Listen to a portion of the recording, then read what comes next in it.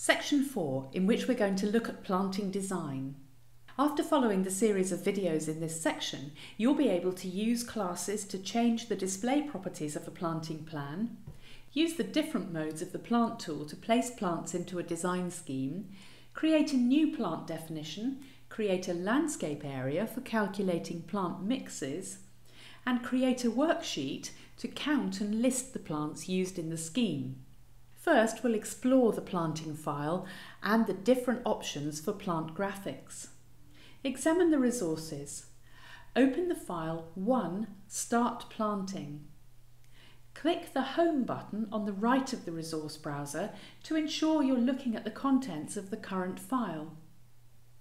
Scroll through the resource browser and notice many plant symbols already present in the file.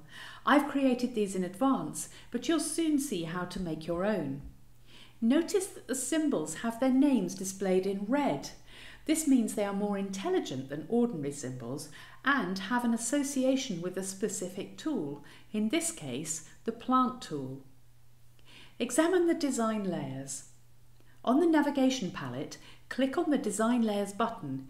Notice that there are two layers you haven't worked with yet, planting and green roof planting. These layers are currently invisible. Click on the leftmost column under the visibility heading next to these layers to make them visible. The planting plan is displayed that you'll complete in this section. Make planting the active design layer. Now examine the classes. Click on the Classes button on the navigation palette. Take a look at the classes in a little more detail. There's a series of classes whose names use the hierarchy plants component. You'll use these to control the way the plant symbols look. Now we'll explore the plant graphics in more detail. The symbols you see on the drawing are included with Vectorworks Landmark and can be customised to look just as you want them.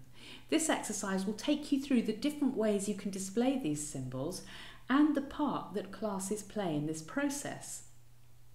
For example, plants can display shadows, sketchy outlines and reduced detail. This section will introduce you to some of those options before you learn how to create your own plant definitions. Control the plant tag visibility. On the navigation palette, click the Classes button locate the plant's component tags class and make it invisible. Make it visible again. Notice that the class enables you to control the tags independently of the plant symbol. The plant tags displayed by the plants can have different configurations and you'll see how to change those soon. I've arranged their position previously and as the planting beds are all the same, I've only labelled one bed of each type just for simplicity. Control the plant graphics. Zoom the view to display the plants in the top left planting area. Make the following classes invisible and notice their effect on the drawing. Plants, component, bloom. Plants, component, canopy. Plants component colour fill. Plants component interior line work. The use of classes within the symbols makes them very, very flexible. Make these classes visible again. Now we'll manage sketchy outlines and shadows. Make the Plants Component Outline class invisible. The individual outlines around the plant symbols within the groups have been hidden. Notice, however, that the groups of plants have a sketchy outline around them. Click Selection. Select one of the plant groups. On the Object Info palette, scroll down to the Annotation Render heading. Change Outline to two Sketch Outlines. Now try tight outline. Notice how the tight outline is more representative of the original outline of the symbol. The combination of the sketchy outline render and the hidden plants component outlines class is one way to display groups of plants. Now we'll explore another. Make the Plants Component Outline class visible again. On the Object Info palette, check Mass Plants.